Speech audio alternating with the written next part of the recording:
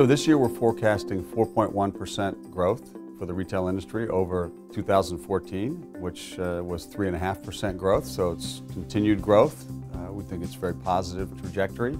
And uh, we base that on the fact that we think consumers are generally feeling better than they were a year ago, that the conditions in the market have improved. People are saving a little more, they're spending a little more, debt is down, stock market is up, gas prices are down. So all those things are contributing to an environment where we think uh, we should have a very good year for the retail industry.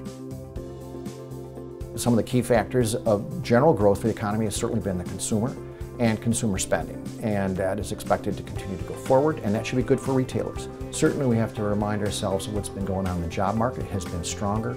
Uh, we've been seeing some growth in wages. Uh, the consumer has had lower debt burdens than they've had in 30 years. Those key factors are going to determine how uh, retailers perform as well as how consumers will spend their money in 2015.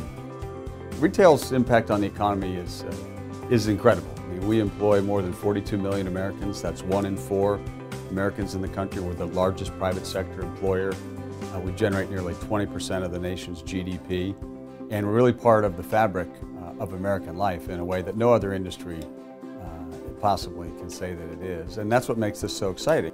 As the retail industry goes, so goes the economy.